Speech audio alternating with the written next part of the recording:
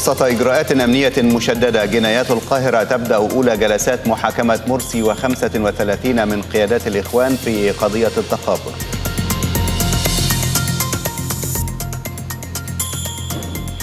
جنح الجمالية تصدر اليوم حكمها على 12 طالبا من المتورطين في أحداث العنف بجامعة الأزهر.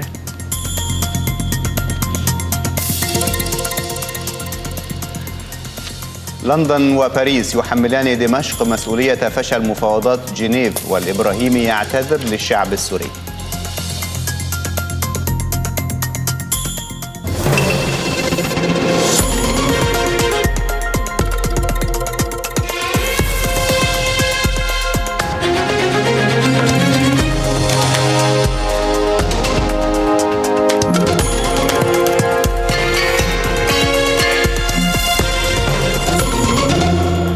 تحية لكم من قناة النيل في القاهرة. بانوراما الثانية عشرة ساعة إخبارية شاملة بأهم وآخر الأخبار. مرحبا بكم. بدأت محكمة جنايات القاهرة والمنعقدة بمقر أكاديمية الشرطة أولى جلسات محاكمة الرئيس المعزول محمد مرسي و35 متهما آخرين من قيادات وأعضاء تنظيم الإخوان. وذلك في قضية اتهامهم بالتخابر مع منظمات وجهات أجنبية خارج البلاد وإفشاء أسرار الأمن القومي.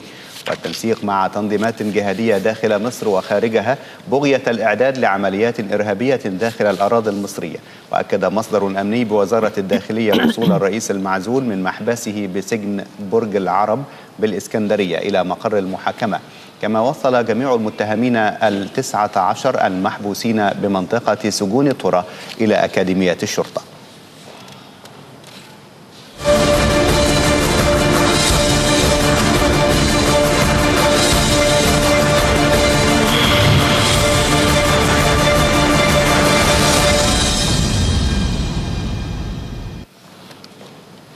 وللمزيد من المتابعة ينضم إلينا مباشرة من داخل أكاديمية الشرطة أحمد وجيه مراسل التلفزيون أحمد يعني انقل لنا الصورة لديك في داخل مقر المحاكمة هل بدأت بالفعل جلسة المحاكمة بعد وصول الرئيس المعزول محمد مرسي؟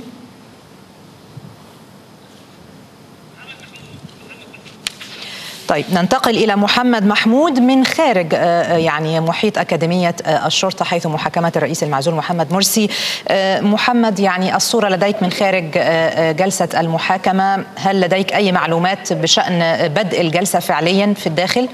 نعم يعني هناك تأكيدات أن الجلسة قد بدأت في الداخل منذ أكثر من نصف ساعة حتى نعم. هذه اللحظة والتأكيدات الأخرى أن الجميع قد حضر إلى هذه المحاكمة جميع المتهمين وهيئة المحكمة. ورأينا طائرة الرئيس المعزول محمد مرسي قد نزلت إلى هنا إلى مقر أكاديمية الشرطة نعم. وبدأت بالفعل المحكمة حتى هذه اللحظة. إن كانت لدينا تأكيدات من مراسلنا داخل يعني قاعة المحكمة أم لا.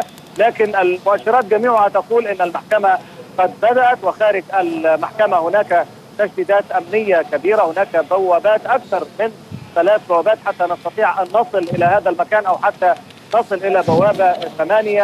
البوابة التي يدخل منها أعضاء المحكمة وأيضا هيئة المحكمة والمتهمون والدفاع. وحضر الدكتور سليم العوة رآه البعض هنا قد دخل إلى المحكمة وهو مفوض مما فوض فيه من قبل.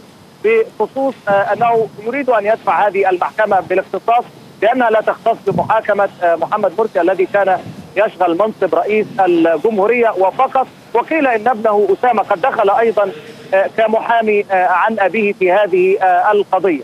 هناك أسامة نجل الرئيس المعزول محمد مرسي الرئيس المعزول نعم. محمد مرسي هناك هدوء خلف اسوار الأكاديمية. لا يوجد أي من أنصار الرئيس لا المعزول لا يوجد أي من أنصار الرئيس المعزول في أي مكان قريب أو بعيد من أكاديمية الشرطه هي بضعة أفراد من المعارضين للرئيس المعزول محمد مرسي حتى هذه اللحظة. ونحن في انتظار أن يعني تنتهي هذه المحاكمة.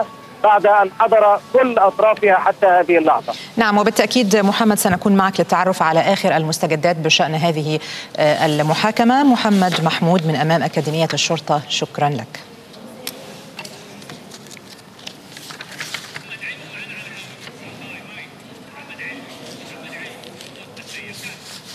وللمزيد من التفاصيل حول الإجراءات الأمنية لمحاكمة الرئيس السابق محمد مرسي معنا من وزارة الداخلية محمد علوي مراسل النيل.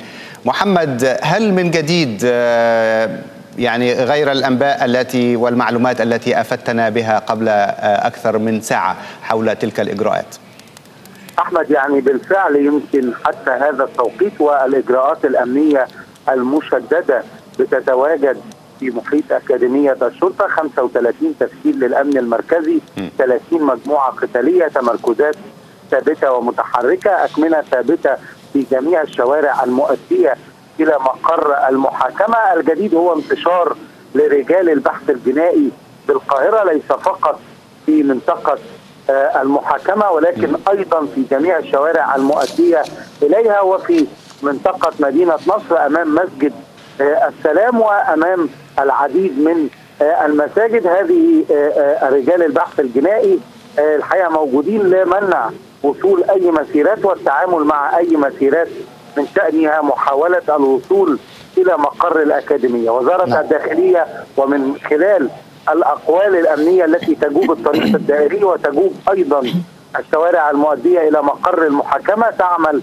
على تأمين الجلسة، الجلسة الأولى لمحاكمة الرئيس المعزول وعدد من أعضاء هذه الجماعة الإرهابية في التخابر. وزارة الداخلية مستمرة في تأمين المحاكمة من خلال مجموعات قتالية من ضباط من الأمن العام وضباط من الأمن المركزي وأربعة من المجندين. هذه السيارات مسلحة لديها الأوامر بالتعامل بالذخيرة الحية في حالة التعدي على أي منشأة شرطية أو أي محاولة للاقتراب من أكاديمية الشرطة.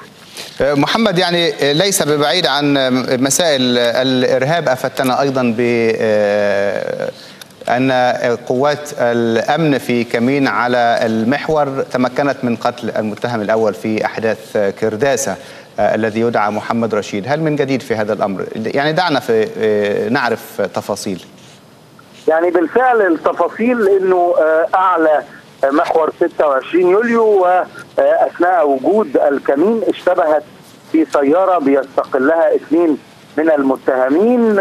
على الفور تعاملت هذه السيارة بإطلاق الأعيرة النارية من بندقية آلية وفرد خرطوش على القوات الأمنية وقوة الكمين التي بادلت الأشخاص إطلاق الأعيرة النارية. اتضح وجود محمد رشيده المتهم الرئيسي في مذبحه احداثه تعاملت وتبادلت القوات اطلاق الاعيره النارية أدت إلى إصابة محمد رشيدة بثلاث طلقات بالظهر أدت إلى مصرعه على الفور وتمكن الشخص اللي كان معاه من الهرب واتضح أن السيارة مبلغ بسرقتها وجاري الآن الوصول إلى هذا الشخص وإعادة الانضباط في الشارع نعم أيضا هناك تأكيدات جديدة من وزارة الداخلية بمواجهة اي أعمال إرهابية تهدد الأمن. محمد علوي من وزارة الداخلية. شكرا لك.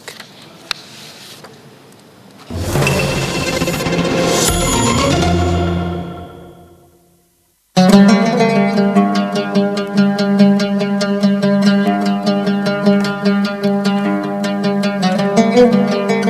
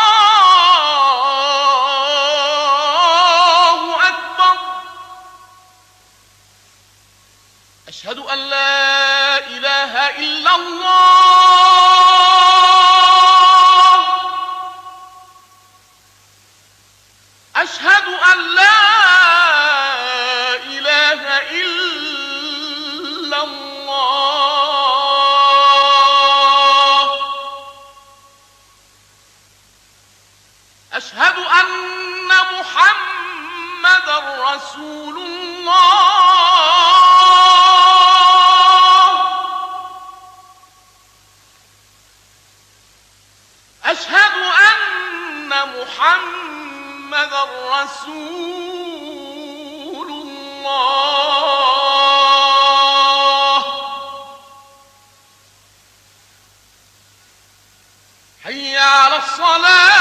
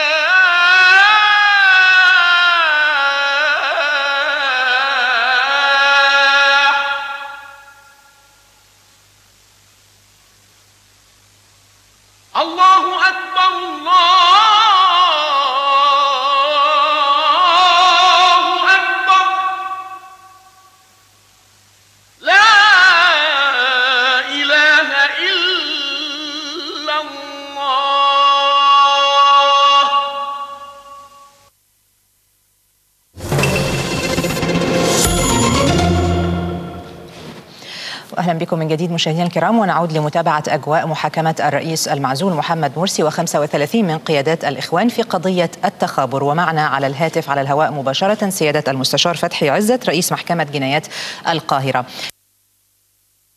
نعرف من حضرتك بداية يعني كيف سارت الجلسة حتى هذه اللحظة؟ علمنا من مراسلنا أنها قد بدأت منذ أكثر من 30 دقيقة.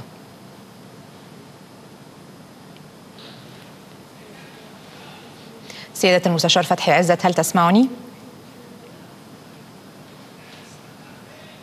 طيب يبدو أن الاتصال قد انقطع وسنعود بالتأكيد لمتابعة أجواء هذه المحاكمة تصدر محكمة جنح الجمالية اليوم حكمها على 12 طالبا من طلاب الأزهر المتورطين في أحداث العنف الأخيرة التي شهدتها جامعة الأزهر.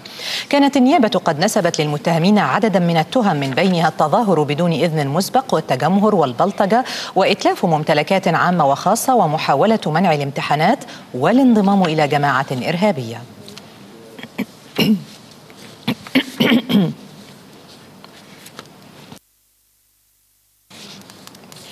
أكد المستشار الدكتور حمدان فهمي الأمين العام للجنة الانتخابات نظام التصويت البريدي مرة أخرى بالنسبة للمصريين في الخارج والذين سيدلون بأصواتهم مباشرة أمام مقر اللجان المحددة لتصويتهم بالبلدان التي يوجدون بها خارج مصر. كما أكد حرص اللجنة على أن تجري عمليات التصويت في الانتخابات الرئاسية بالخارج قبل اقتراع المصريين في الداخل بفترة كافية بما يضمن عدم تكرار تصويتهم في الداخل مرة أخرى.